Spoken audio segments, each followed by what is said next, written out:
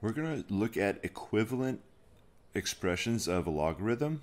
Now all these have base b here. And we have a, in the first one we have a subtraction and then we have an addition in the second and we have a coefficient or a multiplication outside, another coefficient or multiplication outside, and then a negative. And what we're going to do is look in the textbook. We're in uh, the section exponential logarithmic functions, page 438, and we're looking at theorem 6.6 here. We have the product rule, which if we read on the right side says addition outside a log is multiplication inside the log. There's a difference rule. Subtraction outside a log is division inside a log. And last up, we have the multiplication outside the log is the same as moving that uh, coefficient in as an exponent inside the log. So we're going to use all three of these on different parts.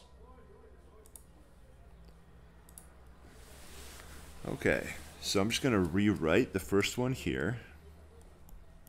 So we have log b of 18. Now we don't know what b is, and that's okay, it won't matter here. Log b of 6, we're subtracting. We just saw that this is subtraction outside is division inside. So it's log base b of 18 over 6, and that does reduce to 18.6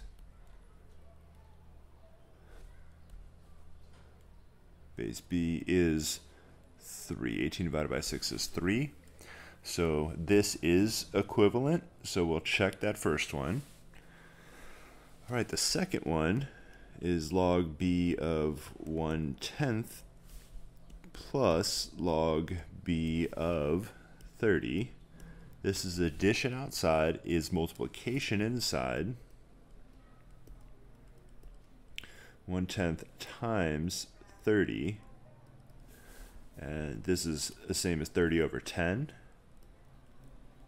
And 30 over 10 reduces to 3.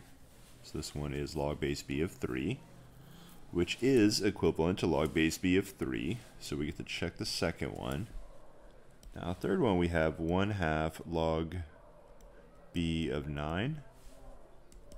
And that's log b. Here, multiplication outside is a power inside.